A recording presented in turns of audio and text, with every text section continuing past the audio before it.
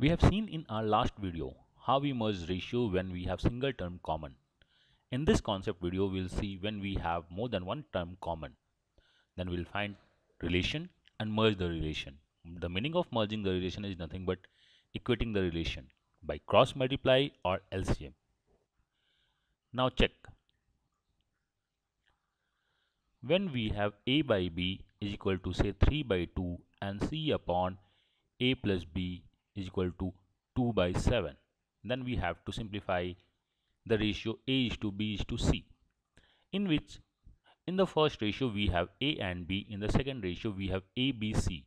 Means we can say we have a and b both are common. Then we'll check the relation of a and b. That is nothing but a plus b. So we find a plus b that is the relation which is in the second ratio from the first ratio. A plus b a takes 3 b takes 2 is nothing but 5 we say from the first ratio a plus b is 5, from the second ratio a plus b is 7. So we just cross multiply the values of the common relation. That is 7 7 from the second and a plus b 5 from the first that is 5 5. So we can say a is nothing but 21, b is 14 and from here c is 10. So this is our simple relation if we have a by b c a plus b means we just need to find relation. Check. If we have a by b is equal to 7 by 4 and c upon a minus b is 2 by 5. Here relation is a minus b. We'll find a minus b from here. a minus b is 3. So 3 in the second relationship, a minus b 5 in the first relationship. That is a minus b is 5 by 5, a minus c from the first is 3 by 3. Now we merge and get a simple relation. A is 35, B is 20 and C is 6. I hope it is clear. We just need to find common relationship and merge the ratio. Now check this with few more examples. Now practice the concept in these two ratios.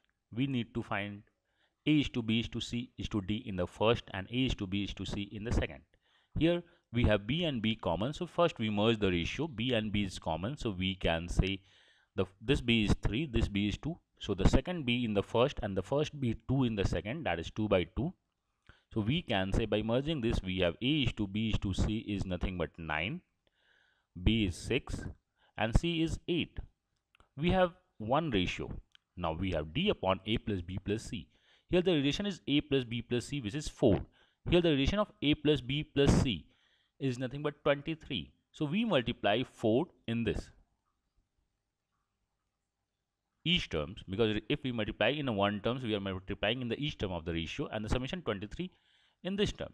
So we will get a is to b is to c is to d a 36 b 24 c 32 and d is nothing but 161 this is our merge ratio of these three given ratios and we'll solve quotient if required in this, we have A, B, C, A, B, C, all commons. In general, if we have all terms are common, then we'll check the summation of numerator and denominator. That is nothing but A plus B plus C. Here the value is 3, 1 plus 2. Here A plus B plus C is nothing but the summation of numerator and denominator and value is 10. Most of the time when we have all variables same, generally we take the summation of numerator and denominator. But with the numerator and denominator condition, the summation of A plus B plus C, summation of A plus B plus C should be same. Then we cross multiply 3 in the second relation, 10 in the first relation. And we'll get A is to B is to C. C is 20. A alone is 9. Now we have A is 9. A plus B is 10. So we can say B is 1. Or here A B plus C is nothing but 21. And C is 20. So B plus C 21. B is 1. This is our merge ratio or simple ratio.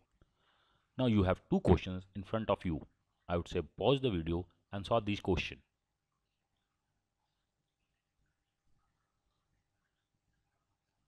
I hope you have solved the question. In the first question, we have A, B, C, we have A, B, C. If we add numerator and denominator, we will get A plus B plus C, which is nothing but 11 here. Here A plus B plus C is 9. So we have a relation A plus B plus C is 11 a plus b plus c is 9 we just cross multiply the values. That is nothing but 11 upon 11 and 9 upon 9 so by this we will get a is to b is to c. A becomes 22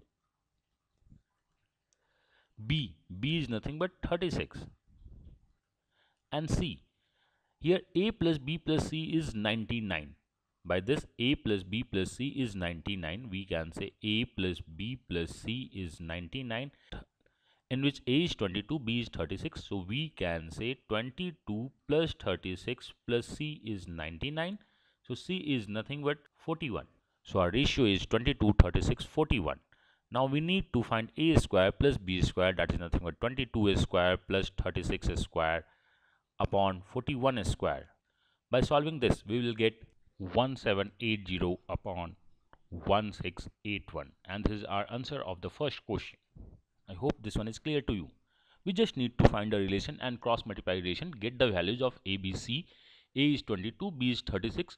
We have a plus c is 63 or a plus b plus c is 99 we have a and b put a and b in any of the equations and get the c so we have a ratio and get the answer now for the question number 2 we have almost all the terms are common a b c in everywhere if we add numerator and denominator we will get minus c plus c cancel out a plus b if we add numerator and denominator we will get again a plus b so the summation of numerator and denominator is same a plus b so we will get the summation of numerator and denominator and cross multiply. Here the summation is nothing but 9.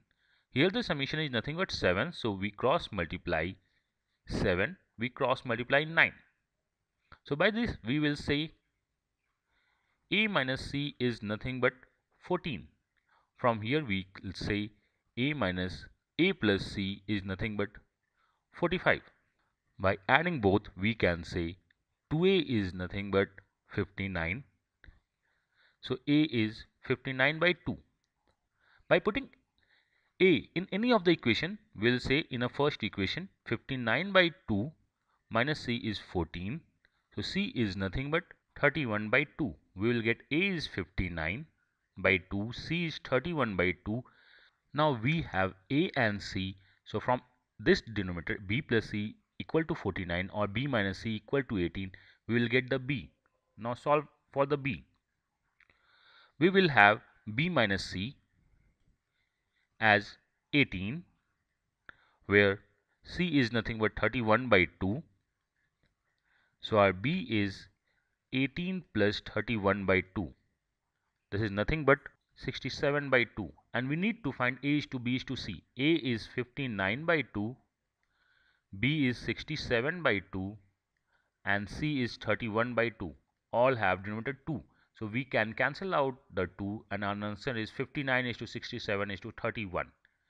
If we have common, we just find the relation. If all terms are common, we'll check the summation of numerator and denominator is same or not. If summation of numerator and denominator is same, then we cross multiply the summation of numerator and denominator and get the respective values. We'll get the ratio. I hope this one is clear to you.